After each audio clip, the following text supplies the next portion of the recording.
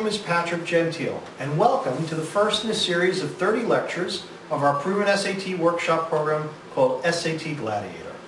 I will be your commentator as we embark upon a marvelous journey to decode, decipher, and unlock the secrets to the English language by using Latin and Greek tools. In each podcast, our instructor is going to show you how, by mastering these components, you will become armed and dangerous for the critical reading section of the SAT. At the end of this lecture series, it is my expectation that you will have the confidence and stress-free tools necessary to become one of our many certified SAT gladiators. Our approach to each podcast will be simple and straightforward. Each podcast will be self-contained and independent of one another, so that you can work on these lectures at your own pace and schedule. Each podcast will include an introduction on the planned lesson, then an in-depth review of prefixes, which will be followed by an in-depth lecture on suffixes. Our instructor will then delve into three Latin roots and show you the exponential power of each of these roots, and how, when combined with prefixes and suffixes, you will be able to easily understand the meaning of English words. To reinforce each root, our instructor will then go over in detail an SAT sample type question. At the end of the podcast, there will be a brief time practice quiz of additional SAT type reading questions and a reading passage to help ensure that you have mastered the material of the podcast. You can always go back to the tutorial to help you if you find that there is a prefix, root, or suffix that you're not sure about. And so, without further ado, I am proud to introduce to you our Master Classic instructor, Ms. Shannon Walker. Shannon, we're now in your capable hands. That'd be great. Um, I know uh, it's a holiday, so we're going to go through this. We're just going to go through as much as we can, and we'll see if we can make sure we finish on time today. So we're going to start out. I just want to say again what an impressive job you guys did last uh, last time. Those questions were really tricky, and I was really impressed with um, how you guys did. Let's take a look at the roots and the derivatives that we saw last time. Here they were. There were a bunch of them. Um, so let's take a look. Animus, mind, or intellect, the soul. Uh, mercor, to buy or to trade, having to do with uh, buying and selling. Uh, for fatus, to say. Jungo or jungo, remember the I turns into a J often in uh, English would be join or joint. Uh, salio, we saw salient was a derivative last time, and then of course colocultus to to live in a place or to till it, to work the land there. So we're going to do the same warm up activity that we did last time, except this time instead of doing one sentence, since we had so many words, let's do two sentences using different derivatives and send them to me in chat. There are the words. I'll give you guys a minute. Of ants living together in the same place. They're very good. Um, ah, nice. I like Emma. Um, gentlemen cultivate astute manners. Um, so cultivate in order to uh, grow or to nurture so that was a great example.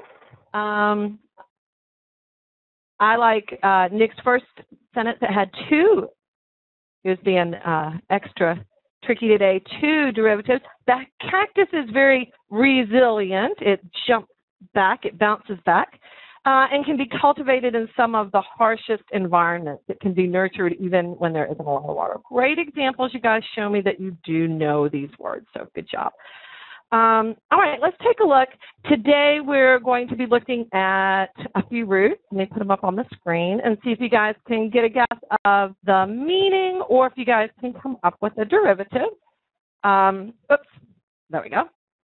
Um, this first one is an interesting Latin verb, gnosco or gnotus.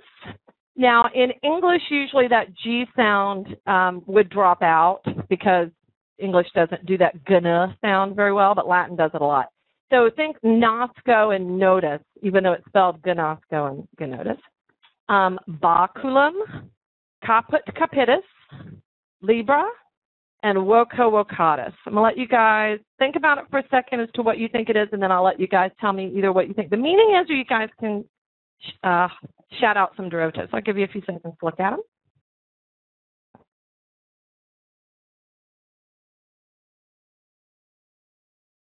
Oh, Emma, that's a that's actually a really great guess.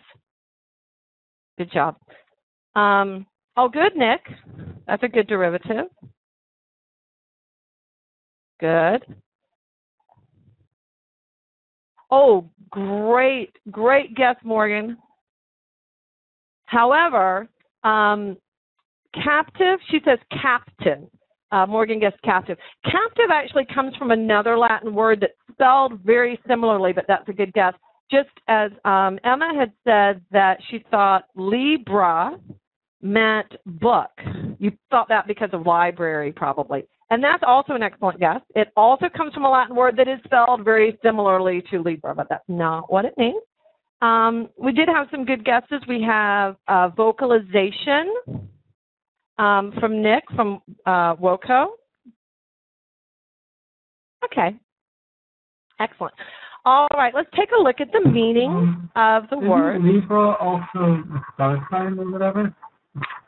Yes, it is. And I was wondering if somebody was going to come up with that. It is. Libra is a sign of the zodiac, um, which is named after a constellation in the sky, uh, Libra. Do you know what the symbol for Libra is in the zodiac or the constellation?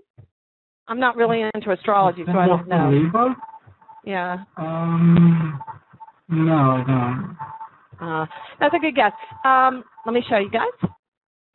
Um, gnosco, gnotus means to know or to learn something. Um, that's a great guess.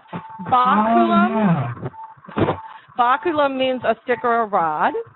Caput means your noggin, okay? Capitis. Libra is a pair of scales, and so the constellation Libra, according to the ancients, looks like a pair of scales. Imagine the the ones where you put a weight on one side and you put something else, and then the scales have to balance. That's what it means by like a pair of scales because it has two plates and you have to get them to balance. And then woco means to call. Okay. Um, and, uh, Anne, I called her Anne. Emma had a great suggestion that um, for when we're guessing our derivatives and so forth, instead of sending it just to me, send it to everybody. So that'd be great. Now, when we're doing our answers to the questions, that you're still going to send that to me privately, so we're not giving away the answers to everybody else. But next time I ask you for a derivative, go ahead and type it out for everybody. Now that you see what the word mean, do you have some additional derivatives? Go ahead and type them in chat, but type them to everyone. Think of any. If not, I'll help you out. Decapitate. Love that word. What does it mean to decapitate someone, Nick? to take their head off. Yeah, to take their head off. Very good. Anybody else? I have some great derivatives. Uh, invocate. What does it mean to invoke something? Um, you mean to like call it forth, I guess? Yeah, to call like this. I'm going to invoke Rule 27. I'm going to call on that. Yeah, very good. To call power from. Excellent, Emma. Perfect. Awesome. So let's take a look at some derivatives, and then we'll see if we can't figure out what they mean, and see if we can maybe some, come up with some sentences using them. Um, gnosco diagnosis. Oh. Diagnosis. It, it comes. job. From, it comes from the word uh, nosco, which means to know, and a Greek preposition. This is actually uh, also related to a Greek word. It also comes from a Greek preposition, and once again, I don't want yellow. I want purple because that's my favorite color. Um, it comes from the Greek preposition dia, which means uh, through, like going all the way through something. So, Morgan, if someone, if your doctor examines you and makes a diagnosis, that is because he thinks he knows what. Now, Morgan, Morgan, Morgan, Morgan, Morgan, Morgan. Uh, he thinks he knows what you have. Yeah, he knows you through and through. He's examined you enough thoroughly to kind of know what's going on all the way through your body, and he makes the diagnosis. Um, Emma, what do you what does cognizant mean, do you think? By the way, Anne is Emma today. I'm not sure if Morgan and Nick heard that. Cognizant. Soberly thinking. Yeah, very good. It's like to be thinking about something, to be aware of it, to know it, to have knowledge of it, right? Is to be aware of it. Um, Nick, what does it mean to be incognito? To not be known. Very good. Remember in. How many, I'm going to say probably this so many times you're going to be so sick of it. In as a prefix can mean in or into, but it also means not, not known, right? If you're incognito, you're in disguise so that you're not, people don't recognize who you are. And then let's go back to Morgan, cognitive. So when they do tests to elementary children to test their cognitive development, what are they testing? Um, it means like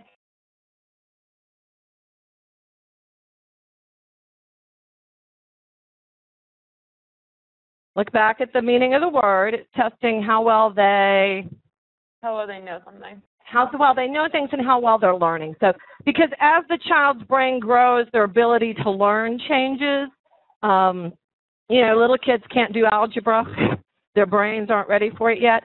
Um, but as their brains grow, their ability to learn and do more complex tasks change. So, it's cognitive means having to do with your thinking or your mind. Excellent. Um, Baculum doesn't have a lot of derivatives in it, but it does have a couple. Bacillus um, is a derivative. I actually picked this one because I thought you guys might have seen this term in your biology classes. Um, did you guys know see bacillus? Have you examined bacilli under a microscope? They are bacteria shaped like this. Okay, that's just a picture I got off of oh, Google. we saw those. Okay. Yeah. So why then, um, Nick, would this be named Bacillus bacteria? Why would it have that name? Because they look like sticks. Yeah, they look like rods or sticks. Yeah, they're shaped like rods. Um, and that's why it's called that. Another derivative is debacle. Debacle. Um, have you ever heard somebody say, "Boy, they were really uh, their presentation was really disorganized and they took a beating when they gave it"? What do you What do you think uh, that means, uh, Nick? What do you think it means if you say that their presentation was a debacle? It was kind. It kind of it was a shambles. Yeah, it was it was a disaster. It's like they took a beating Mhm. on it. It, it didn't go well. Um, imagine them getting hit with sticks while they're doing their presentation because it was so disorganized. So yeah, it's like take taking a beating, as we say down south. Excellent. Oh my gosh, Competent- we get to decapitate. I'm so excited for for this this moment. I always wait for this every class when we talk about decapitate because then I get to talk about Mike the Wonder Chicken. Are you aware of Mike the Wonder Chicken?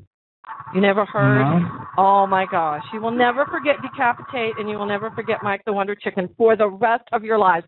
This is a chicken, true story, not making this up, that um, his owner decided to cook him for his mother in law. And so he went to cut off the chicken's head. And he knew his mother in law really liked the neck of the chicken. That was one of her favorite parts. So he really stretched that neck out and was trying to cut the head off as close to the head to leave as much neck for his mother in law. And he chops the chicken's head off. And how long do you think, I would like everybody type in to everyone a guess as to how long the chicken lived with no head? Because we all know a chicken, when you chop their head off, they run around. Then they remember they're dead and they lie down decently. How long do you think the chicken lived with no head? Type it in. A minute. Three days. Morgan, I'm going to give you a hint. It's more than that. So you're going to get the, probably the closest guess.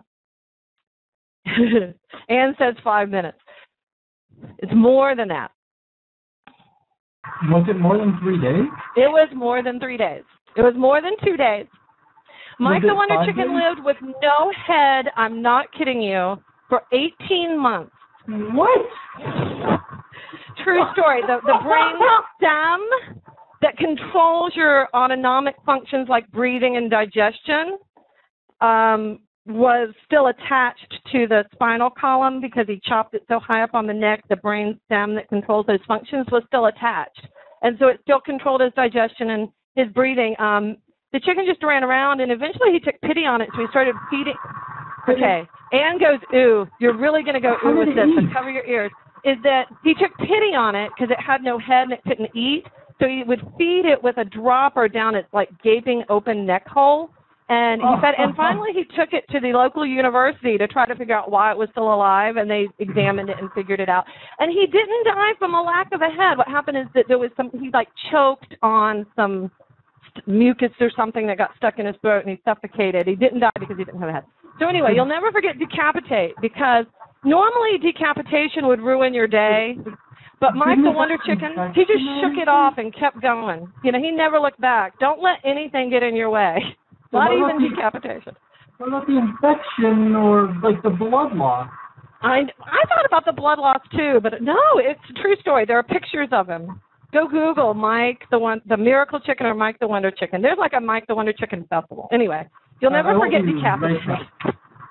you'll never forget. You'll never forget. Um, uh, so, uh, Morgan, what is the capital of a state or a country? What? How is that related to Kappa? Um, it's like like a bad. a Like you know, Albany is the capital of New York. So what Capital? happened? Yeah, the capital. Oh, it means like the uh, head of the head of it, like where Yes. like, The head, the So- place that controls it, because your head controls the rest of your body. The capital of a, a country or a state is in control of that. Very good. Um, you can also think, uh, never mind. Um, and then this last word, caprice, Oh, that the was adjective. I took a second and looked at a picture of it. Oh, that was just nasty. Don't Google during class. Save it for later. Um, I told you, true story. Um, caprice is a noun. The, the, the adjectival form is capricious. If someone is capricious, that means that they're always just doing whatever they think of. That they they will make spur decisions or snap decisions and just go and do it. It's like, oh, I just decided I was going to go bowling. Beep, I'm going to go. Um, so that's what it means, and it does come from copy because it's kind of like you're um, just doing whatever comes into your head. You have no control over it. It also is related, really funnily, to the uh, Latin word for hedgehog, because I guess what it's saying is that your hair, like imagine somebody's going this way to go do something, and then they suddenly change their mind and they have a different idea. Get the idea of their hair standing up while they turn around and go do something else. So it's kind of it's it basically capricious means hedgehog head. I don't know why that does, but it does. Um, Libra is a set of scales. We already talked about the constellation Libra, which the symbol is a pair of scales. Um, so then, uh, uh, Emma, what does it mean if you do something deliberately? If, if an act is deliberate? Yeah, you did it on purpose. You weighed out all of the consequences of it, and you chose to do it um, as opposed to you didn't really think about it, you didn't weigh out the consequences, and it was you just acted on impulse or an accident. Um, Morgan, what does it then mean if if you have equilibrium? Equilibrium. like the middle or equal. Yeah, they're balanced. They're, the scales are in balance, right? There's no one thing that's overpowering something else. Just like we have the separation of powers in our country with the executive branch, the judicial branch, and the legislative branch, they're all in equilibrium with their power. So no one group is able to overpower the other two, right? Good. Um, Um, and then, yeah, go ahead. Toss it At our, at our school, um, there's a motto or something that says "Very, Veritas Vos Liberabit." Does the last part come from Libra? Uh, say it. I can, can you? I can't hear you. Can you say it one Sure, more I time? can, I can type it. Oh, yeah, type it in. I'd love to hear it. I happen to love slogans. I think they're great, and mo- they're uh, they're- they're always better when they're in Latin because they sound better.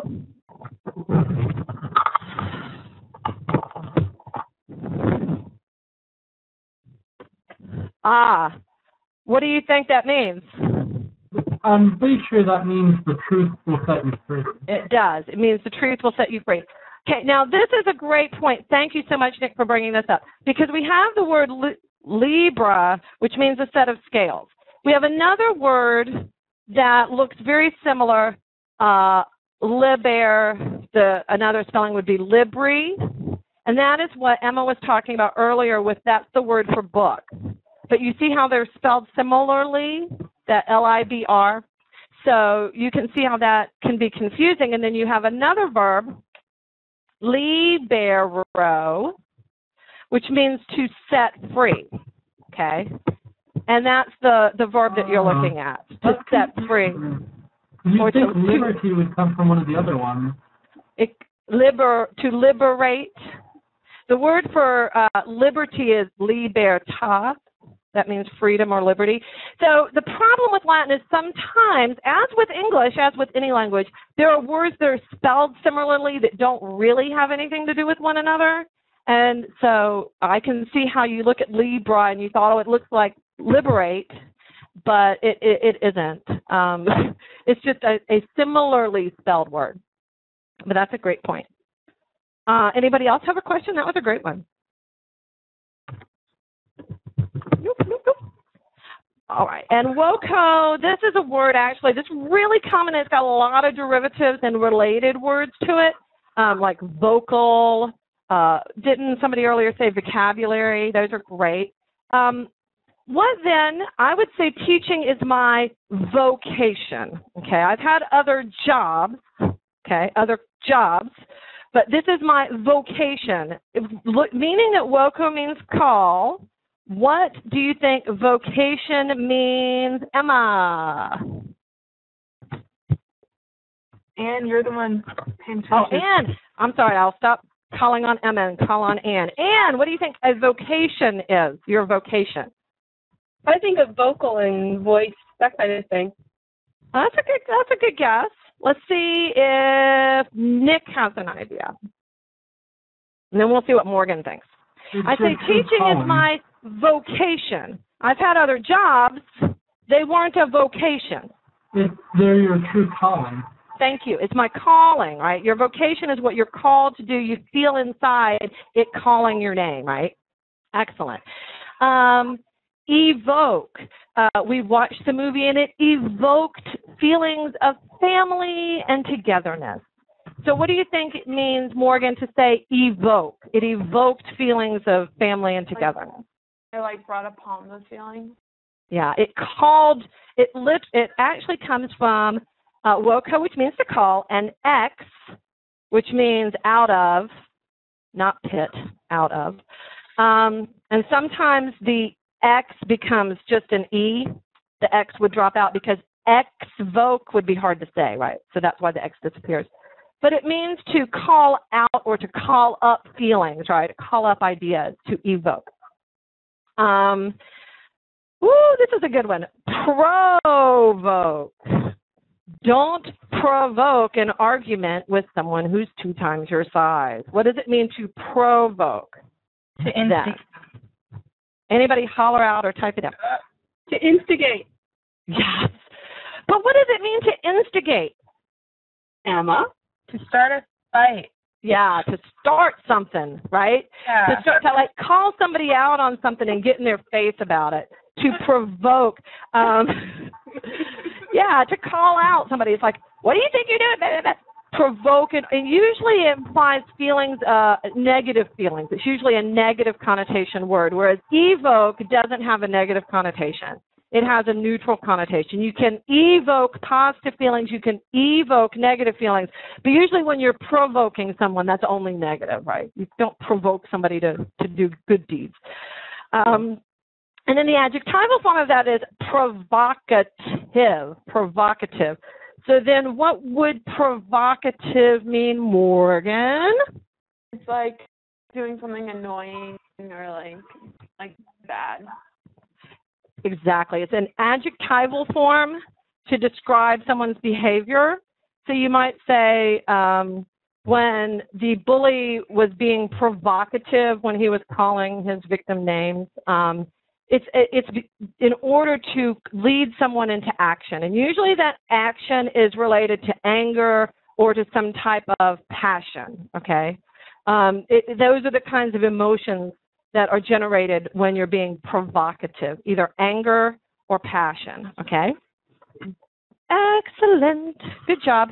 Um, let's take a quick look at the first sentence and then we'll take our quick break, okay? Uh, that is not a sentence. That is those are bacilli. Um, let's go to the sentence. Okay. No questions about Mike the Wonder Chicken, sadly. Um, take a look and find the word that best fits the meaning of the sentence as a whole. Now, this is when you're going to send your answer to me privately so you're not shouting it out to everybody and giving them the answer. No.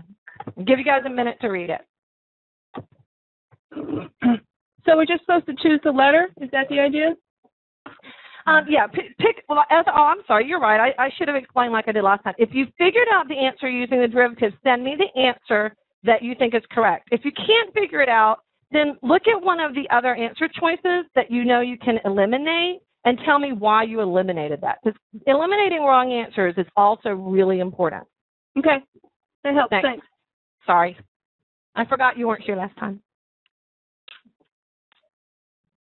Do you know the answer? Um, I'm really No. Do you know the answer? Mm-hmm. Good, Nick. Read the question. I don't want to.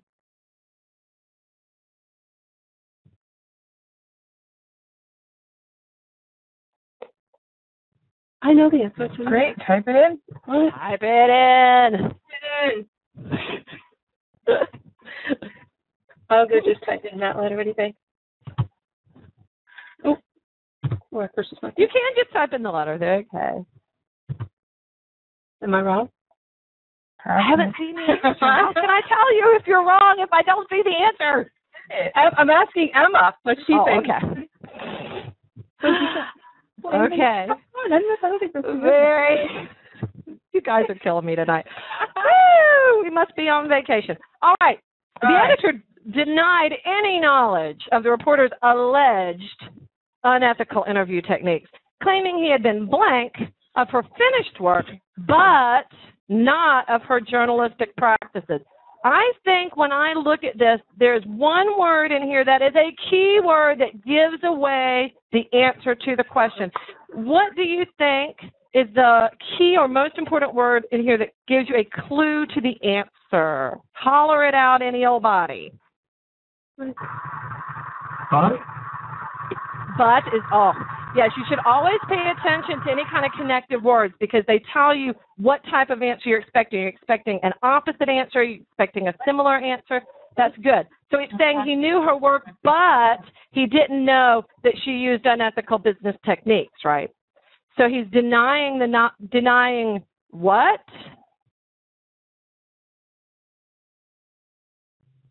knowledge. Knowledge. So we know that Gnosco means to know something, right? So to be cognizant of something is to have knowledge or to be aware. So he's saying, I knew about her articles, I read them, but I didn't know that she was being unethical when she interviewed the people. So he was saying that his knowledge was limited to the finished project prod, product, not how she did it. Um, let's take a look at some of these other answers just to make sure that we understand why they're wrong. We have time to do that today because we don't have so many questions. Um, what does it mean? Let's look at B. Uh, what does it mean to be wary of something? Wary of something? Because we already said to be cognizant is the answer. Why is be, to be wary of wrong? Anybody? Opposite. It's unsure, untrusting. Yeah. Um, to be wary is to not trust something. Absolutely. I love that you said untrust. Cautious, Nick, is a great word. So um, he wasn't cautious of her finished product. There's no indication in the rest of the sentence that he had any concern about it, right? So we know that can't be it. He had been acknowledged, this is the key word, by. If you are acknowledged by something, that means someone is talking about you, right? If the articles are talking about him, does that have anything to do with his knowledge of the articles? No. What does it mean to be bemused? Like you have chagrin. You're kind of Chagrin is a fancy word. Dang. Uh, go ahead. It, it means to what? Be silly? No, you like What? it like tickles your fancy. Oh, To do what?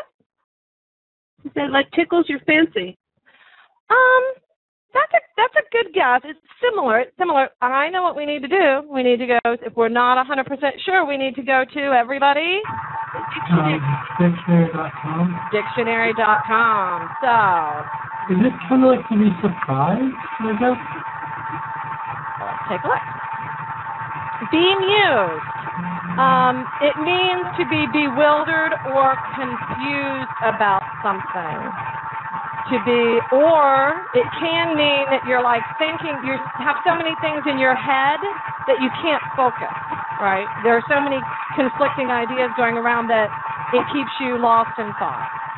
Nick, is that your, I making the noise again? Can you mute for a sec and see? Thanks, Tom. So he wasn't confused by the articles. Um, that doesn't, or even if he was, it didn't have anything to do with whether he knew she was being unethical. So that's a good, that's a good guess. But always go to dictionary.com if you're not sure. I'm, I'm sad it's not showing us the um, etymology. Usually it does. Oh, it looks, it says it comes from mu. Okay. All right, let's go back. Stop sharing. Okay. Perfect. And what does it mean to be vindicated by something? Vindicated. To be redeemed by. Yes, to be redeemed by, to have some, to be proven right. You know what I'm saying? It's like you're you're you're supported by the evidence. You're vindicated. Once again, it has nothing to do with his knowledge of her unethical journalistic techniques. So we know that those are the wrong answers. We can scratch it all off, and we go right back to A. Perfect job. Good work. Um, all right. How about it's it's about that time for our quick break. So we'll do five minutes. My clock says. Um, it's about to turn 8.09, so we'll be back at 8.14, okay? 8.14. See you guys in a minute. I have to unmute my microphone before I share my desktop and show everyone the official website of Mike the Wonder Chicken. Anne might not want to look because there's a picture of a headless chicken on the screen. How cute is that? Hello, Mickey. Pretty color. That's the cutest thing I've ever seen. That's adorable.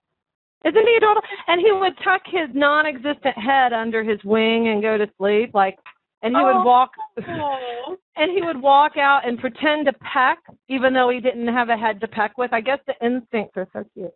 Anyway. Yeah, it's a little bit hot. Don't you think? Kind of uh, I know it's an amazing out of that. We could do onto something. This is he is my hero. This this chicken because he didn't let a little thing like decapitation slow him down. So I'm enjoying his life. You know. just never give up. As as a wise, wise, wise woman once said, just keep swimming. You know? Yeah. All right. Um, is everybody back so they can see Mike the headless chicken? This is important. That is amazing. I know, I love this thing. And when I would tell this story at my last school, I would get calls from parents going, No, really, how long did the chicken live with no head? I'm like, No, I really haven't. All right, it's time for us to go back. Um, but I'm so glad you got to see my my hero, Mike the Wonder Chicken. Um, go read his story later. It's really a great story. Um, all right, you guys are awesome today. Let's take a look at the next sentence. What I'm certain you are going to tell. Let's take a look at it. The oh, once again, my favorite, the double word. The play, which features blank mix of comedy, pathos, and music, was correctly described by one honest critic as a blank. So I'll give you guys a minute to look at them. Um, like I said, if you think you know the answer, send it to me. If not, think look at least one you can eliminate and tell me why it's not that answer. Send it to me privately in chat. Give you guys a minute.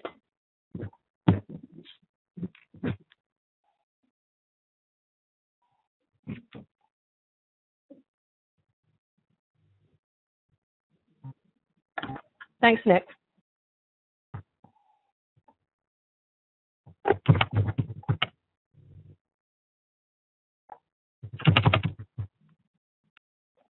And you are nothing but trouble. Okay, good. Let's take a look. let's take a look at it. And once again, let's try to see what type of word we're going to want to be plugging into each blank. So we have an idea. Are we looking for a positive word, a negative word? Let's take a look. So um, does anybody have a clue as to whether we're looking for a positive word or a negative word? Or are there any clues in the sentence that tell you that? I think that both blanks are going to be the same, either both positive or both negative. Why do you think that? That's a great observation. Why? Because the critic was correct in his description, so whatever the definition of the mixture is should be on par with his criticism. Thank you. That was exactly the key word I was hoping you were going to notice is that it is a correct assessment. So whatever it was, he called it that, okay? So we're looking for two similar words. So let's, what you normally what I would have you guys do is plug one word in and see if it fits. And then if it doesn't, scratch it off because that is a great strategy. But when um, you know that the two words are going to be similar, maybe the best thing to do is to look through the choices and make sure that the choices have similar words. If you have two words that are kind of opposite meanings, you know that's not going to be it. So if something was seamless, seamless, would it be a debacle? Remember, a debacle is a disaster, right? So, what do you think? Yes or no? If it is seamless, would it be a debacle? Everybody holler out, yes, no. No. No. No. Seamless means it doesn't have any flaws whatsoever, right? There's not even a little bump. Um, and if it goes seamlessly, then that wouldn't be a disaster. It would be a good thing. So it can't be that. Scratch.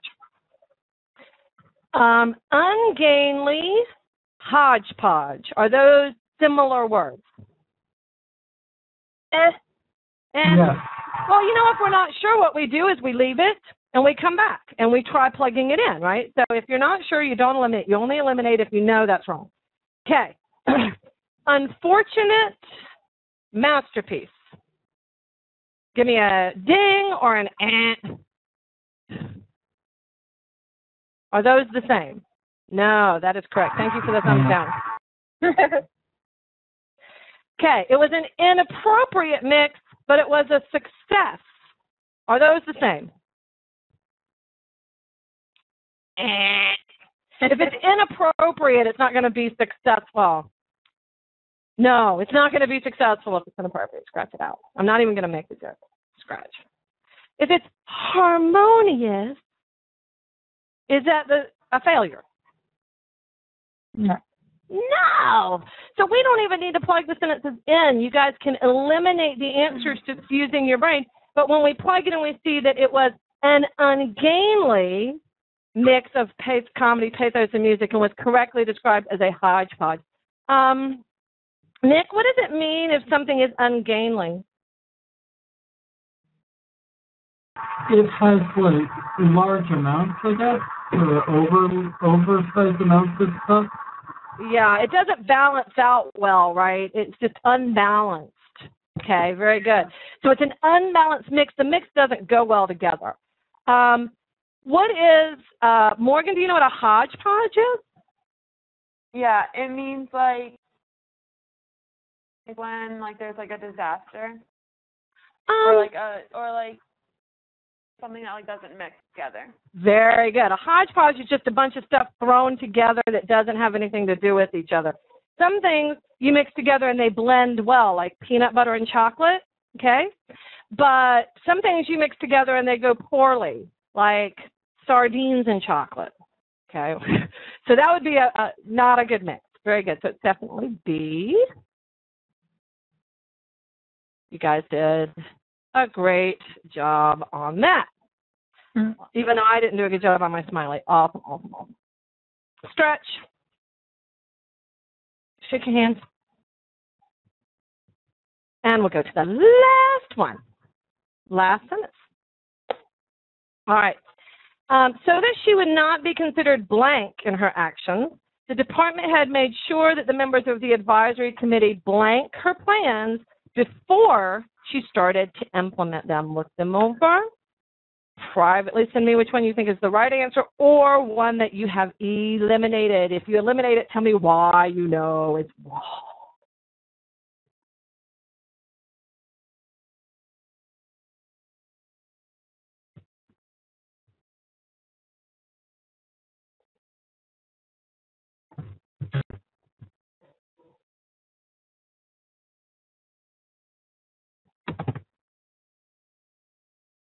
Good, Nick. Thank you. Thank you, Anne. Anne slash Emma. I can't see. Is that you, uh, Emma? Okay. yeah. It's a little dark, so I can, I see only your nose from about here. So. Okay. hmm Oh, good explanation, Nick. Thank you. All right. Morgan, what do you think?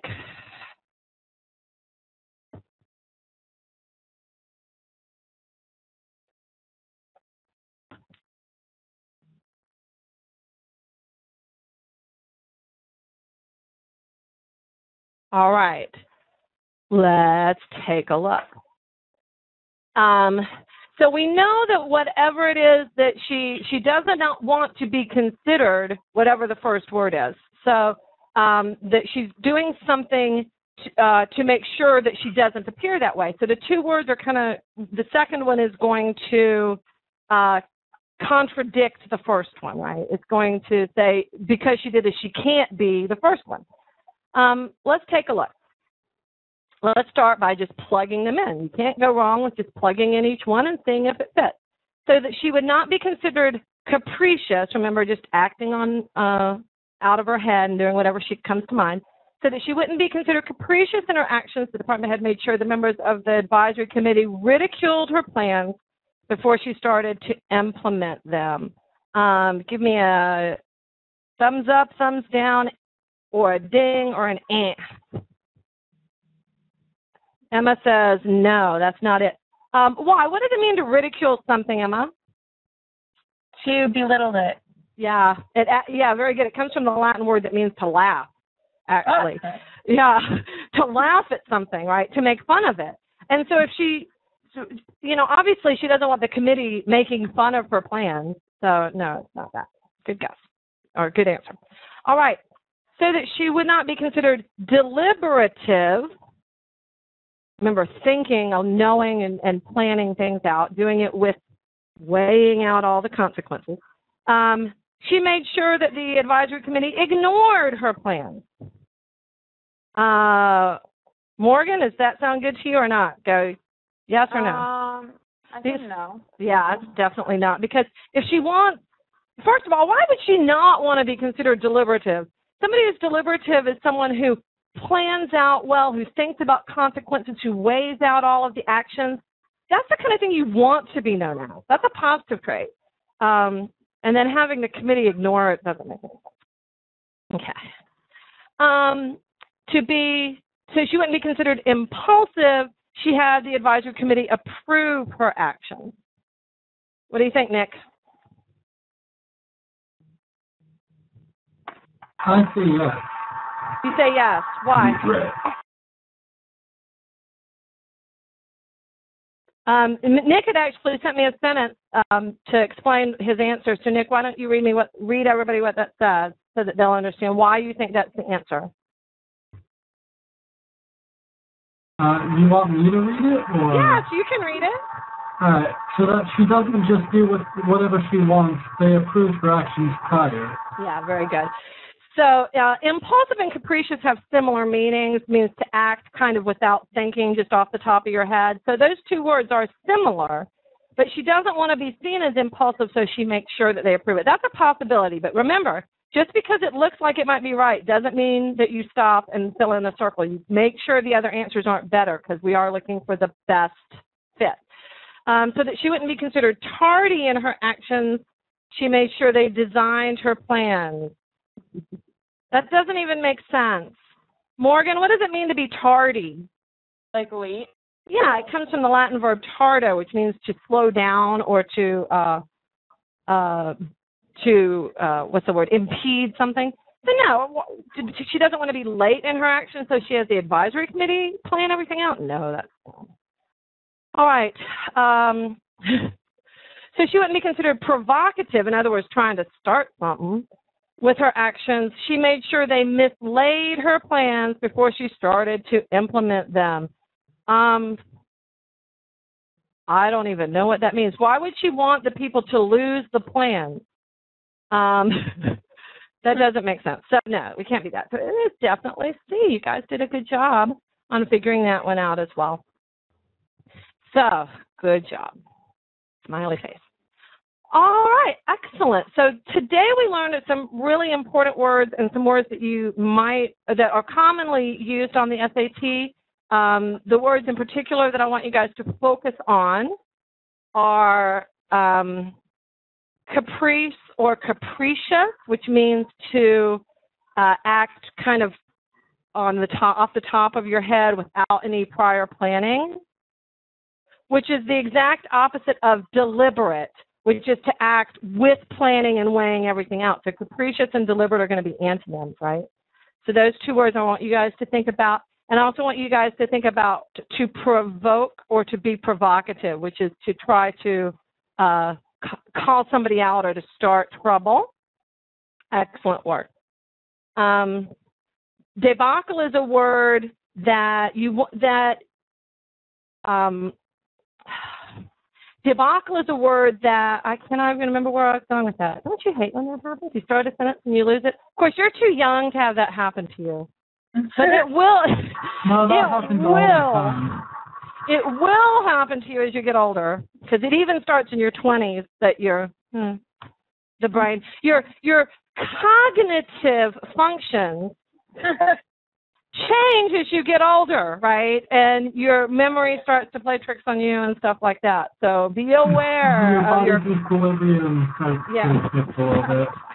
because the chemicals in your brain aren't in equilibrium anymore like they are when you're fresh and young. Right? Your brain gets old and kind of hard and crusty. Yeah, because you're not in equilibrium. Very good. Mhm. It's just harder to vocate what you need to say. Oh, that's good, good, good. You guys are great. Um, all right. I was actually hoping to try to, to because it was a holiday to finish up a little bit early and give you guys a few uh, few minutes uh, extra time, but I didn't make it. But um, you guys did a great job today. I really do want you to, to be thinking about decapitation and Mike the Wonder Chicken um, this week, and we'll talk some more about that.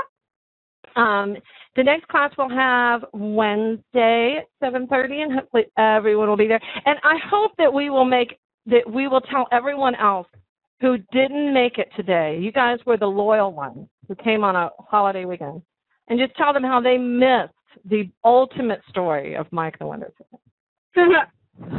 yeah, and please tell everyone you know. This is my favorite story. All right, thanks so much, guys. I'll see you guys on Wednesday. Awesome job. Great Thank job, you. guys. Have a wonderful have a wonderful holiday. Bye bye. Morgan, beautiful work, Nick.